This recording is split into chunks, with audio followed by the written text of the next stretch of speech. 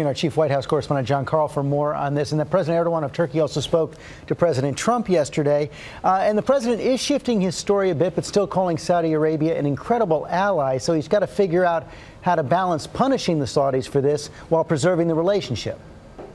That's right, George. And he's got some real pressure coming, genuine anger coming from both Republicans and Democrats in Congress who want to see sanctions on Saudi Arabia. Rand Paul, one of the president's closest allies, said he'd like to see the arms sales uh, scheduled to Saudi Arabia cut off. The president himself has been kind of all over the map.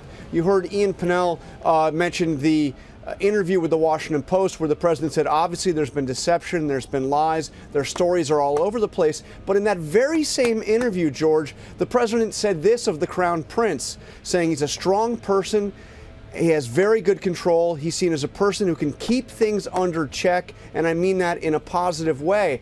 So, although the president has been critical in some senses of the Saudis, although he has called for severe punishment, he does not seem like he wants to do anything that could jeopardize the U.S. Saudi relationship. That could be trouble for him if there's more evidence implicating the crown prince going forward. 15 days until the midterm elections. President out on the stump just about every day. His poll numbers also on the rise.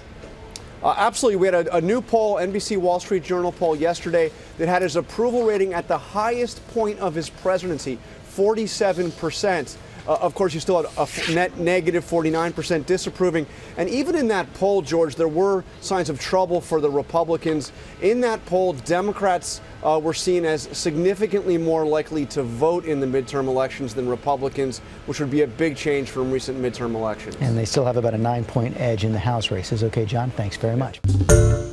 Hi, everyone. George Stephanopoulos here. Thanks for checking out the ABC News YouTube channel. If you'd like to get more videos, show highlights, and watch live event coverage, click on the right over here to subscribe to our channel. And don't forget to download the ABC News app for breaking news alerts. Thanks for watching.